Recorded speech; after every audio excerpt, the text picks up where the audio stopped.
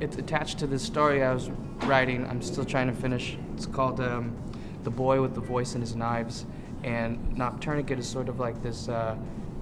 this sort of mental mantra, how to uh, you know stop the night from bleeding because you know I think uh, nighttime can be synonymous with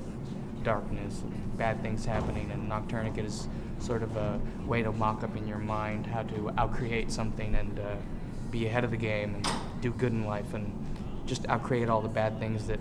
you know, all the ups and downs that happen to you in life, really. And Noctourniquet is just a mental uh, mock up of